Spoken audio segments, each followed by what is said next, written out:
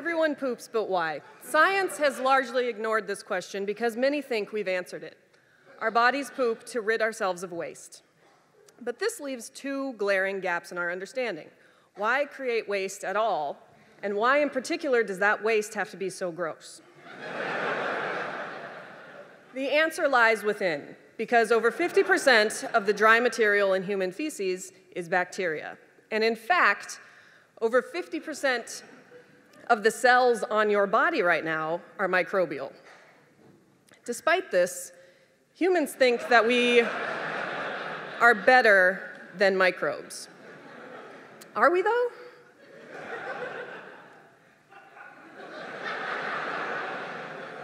Microbes were here billions of years before we were. The human body is actually just a squishy wrapper around one giant tube that is filled with microbes. They sit around all day while we run around collecting resources that we shove down that tube giving them directly to the microbes. And when the bacteria are ready to get off, we have a selection of convenient orifices for them to choose from for egress. The microbial dispersal hypothesis explains all these facts and more.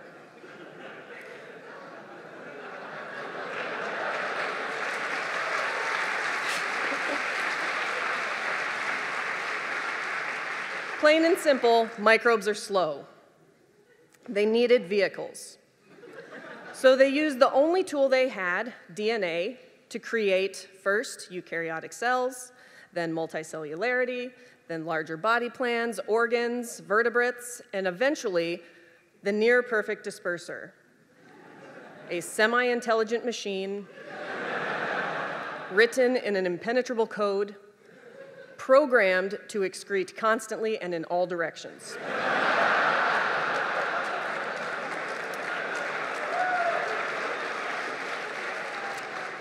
Once you realize that we are a walking, talking, microbe dispersing bus, it's obvious why we produce waste. And it also answers why it has to be gross, why every single gas, liquid, and solid you produce is disgusting because we, they want to get away from us. If you doubt that every single gas, liquid, and solid you produce is gross, let's just run through them real quick. we have our marquee disperser, feces. We have urine, saliva, sweat, phlegm, vomit, earwax, mucus, breast milk, menstrual blood, semen, others, there are probably more, I don't know. Uh, you might be able to think of one, and if you have something to add to this list, I'm guessing it's gross. because our body has nothing to do with human interests and everything to do with dispersal. But microbes didn't just build the bus, they drive the bus. The microbes in your body weigh as much as your brain, and they're largely in your gut, which is nestled inside our enteric nervous system, which directly links the microbes in your gut to your brain. They would not need this architecture if they were just along for the ride. They use it to control our behavior. But wait.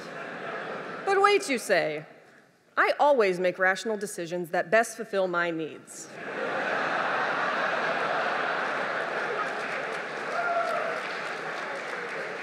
This is demonstrably false via what I call the Taco Bell phenomenon. Here we have a person who may or may not be hungry. They see a Taco Bell and they think, I don't want Taco Bell. they have emotional, physical, and intellectual reasons for not wanting Taco Bell, and yet, here I am eating Taco Bell followed by confusion and dispersal. At no point in this process was our totally hypothetical person making a good rational choice because microbes were in control. And this is not the only example of humans making irrational choices in the name of microbial dispersal. So now I have a four question self quiz so that you can see the raw power of the microbial dispersal hypothesis based on your own answers. So, have you ever traveled by air? The seats are smaller than you are, the air is recycled, and you're likely in mutually unwanted physical contact with the person next to you for the duration of the flight. There uh, is no good reason to put ourselves through this. There is no dignity or pleasure in flying economy. Why do we do this? Because the only thing more efficient than a bus is putting that bus on a plane with hundreds of other disgusting buses, two coffin shaped bathrooms, and dropping people off across the globe. Dispersal. Have you ever liked someone so much you put your mouth on theirs? For an extended period of time and just swallowed whatever liquid slurry the two of you produce. Why would you do that? Uh, 10 seconds of intimate kissing transfers 80 million bacteria. There's no other explanation. Have you ever imbibed? Humans cannot stop ourselves from this behavior. There is never not a reason to drink. I'm happy, I'm sad, it's a holiday, it's my birthday, it's the weekend, it's happy hour, it's five o'clock somewhere. Let's drink. And yet, we all know that this leads directly to dispersal events. but we do it anyway, because it's gonna be fun. Yay! Oh. What happened? You blacked out. That's what happened. We're not even mentally present for the fun. Maybe it's best you don't know how many parking meters you licked, you know? Uh, so, who do we have to thank for this? Microbes make alcohol.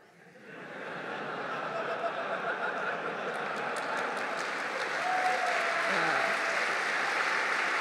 coincidence? No. Because the only explanation for going from this to this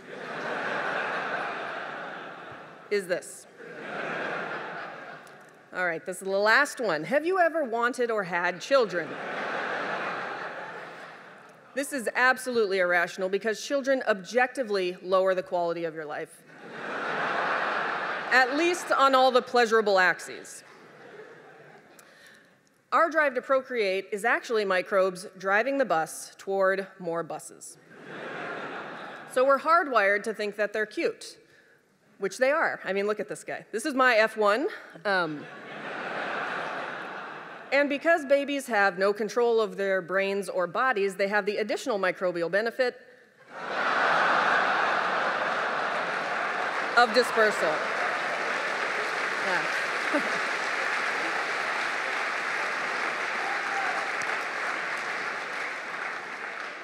In summary, the microbial dispersal hypothesis explains both humans and our humanity. Our greatest achievements, like love and technology, and our grossest emissions. So if you ever feel like you're not living up to your greater purpose in life, go outside, look up at the moon, and feel the pride we all share that the American flag is up there. And find comfort in the fact that microbes drove us to the moon. and there we fulfilled our greatest purpose by pooping on it.